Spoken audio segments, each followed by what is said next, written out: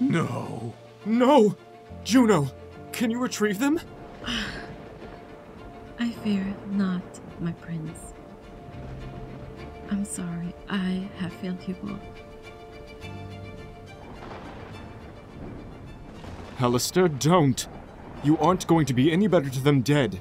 What else is left for me, Yvan? At least give me the dignity of dying by their side. Do not ask me to go on. Please.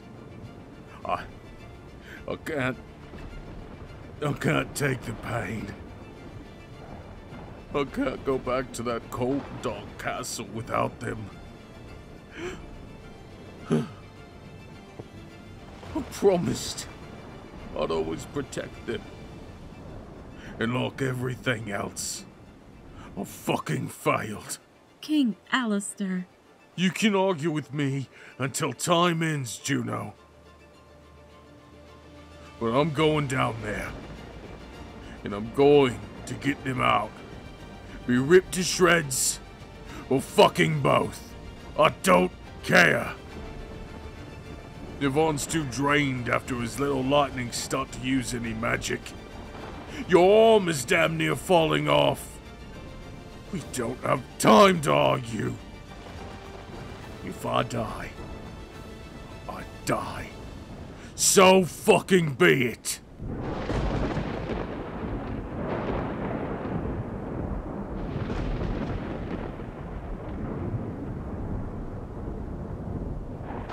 Allistair! I'm coming to get you, my love. I promise.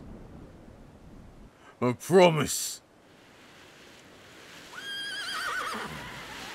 Juno, call off your damned water horses. I still have Yvan's spell going and I can see them. that is not Juno's magic. Then who? What? Huh? What? My everything. Pearl! Oh, thank the moon spirits. Oh gods, I'm sobbing. It's hard to see. I'm running over there to hug you, Pearl. Just stay right there. Don't you ever go anywhere again, alright?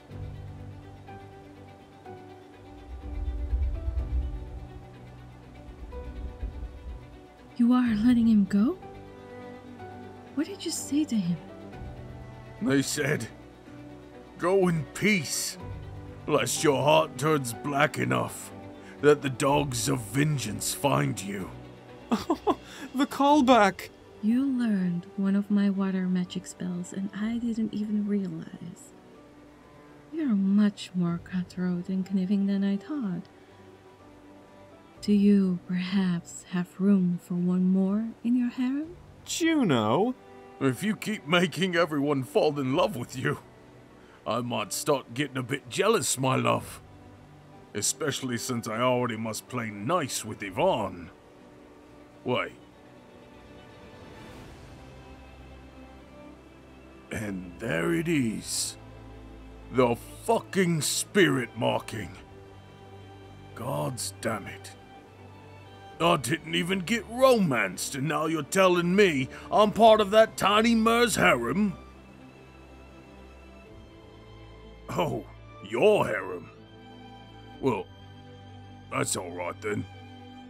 And no, I'm not going to stop holding you for at least a year. Good thing you found your Verosian strength, hmm?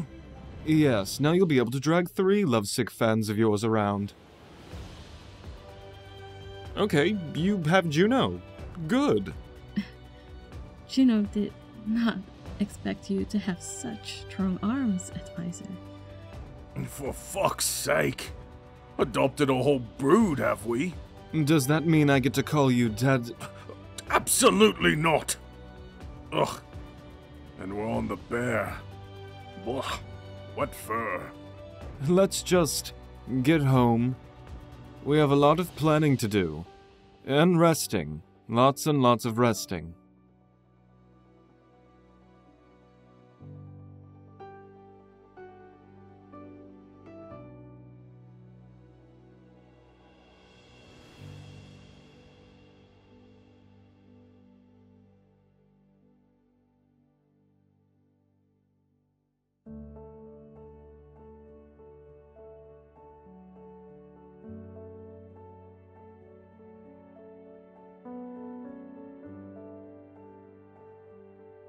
Thank you.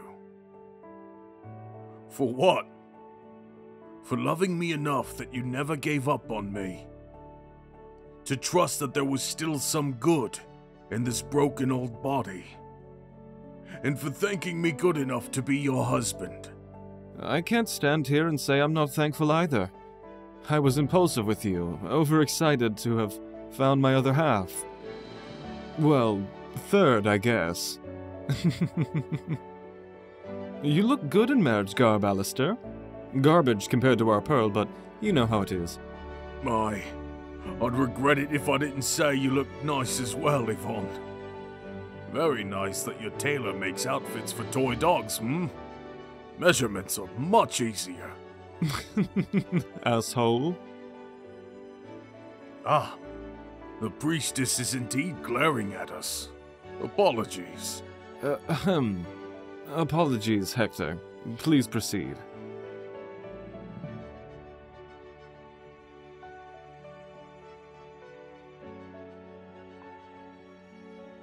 I take my pearl. And I take my everything. In holy matrimony, now and forever. And forever. In this life and the next, may we be bound. be bound.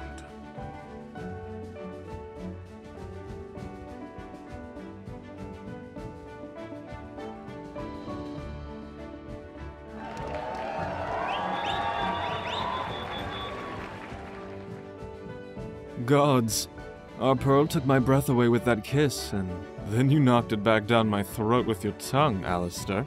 I warned you before not to bite my lip, Yvan.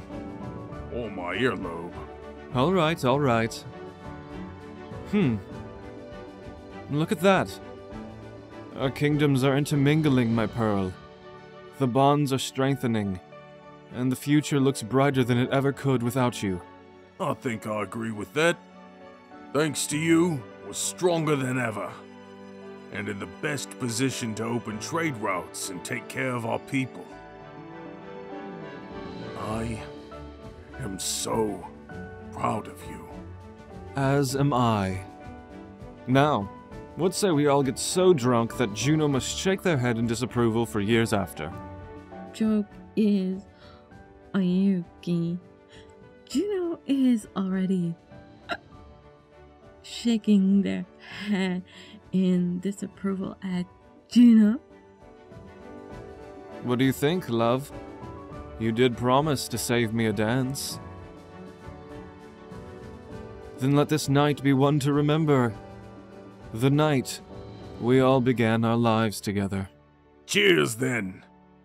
To the future.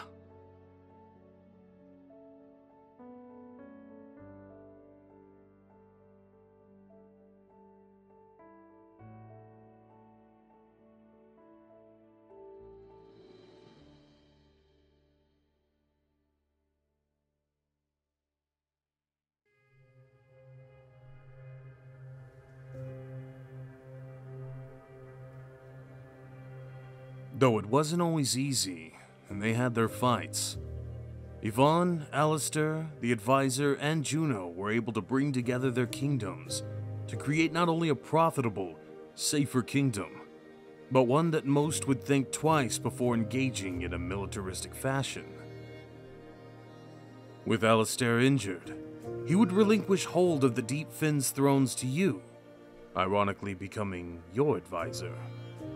Your name, be it in Viros, the Deep Fens, or Rasan, would echo throughout history as one of unquestionable honor, strength, and compassion. Yvan would grow into his own as a new king, still maintaining his compassion and sensibility. He did relent to Allistair's request that security measures be a bit more drastic should the occasion arise. Ever the dedicated husband and lover, Yvan would dote and be at their side as often as possible. He'd also take every opportunity he could to tease Allistair about this or that. He lived a long, content life at your side and never regretted any of it. It would take many years of hard work of this new thing called counseling you discovered in Rasan before the bond between you and Allistair was mended fully. He worked hard never complaining once, and always expressed his contentment to simply be at your side. He stepped down from the throne gracefully and proved to be a great advisor in his own right. If the advisor wanted children, be it via adoption or natural means, they would receive a daughter via Allistair and a son via Yvan. Allistair proved to be a surprisingly good father, patient, but knowing when to put his foot down. Yvan was a good father as well, but never had it in him to handle the disciplining. It didn't surprise anyone when your son turned out to be a bit of a delinquent. You loved them all the same, your little family. Sometimes you'd wake up and Juno would be in bed with you. Neither of you could ever explain this and stopped trying after about the 15th time. They're a good cuddler anyway. Muffin was also a great cuddler. Unfortunately, Muffin was also a 400 pound grizzly bear. You'd receive the occasional letter from your father as he aged. Whether you answered them or not has been lost to history, and scholars still debate how you would eventually go on to take Viros, a story for another time perhaps. Your mother was, at last, given a proper burial, same as the villagers that were simply at the wrong place at the wrong time. Despite Yvan's reluctance, Allistair recovered Geordie, her murderer, and he was given a gruesome punishment. You found it difficult to be sad for him. Your life and deeds will be forever remembered. You, the one that saved a king's blackened heart without losing your own.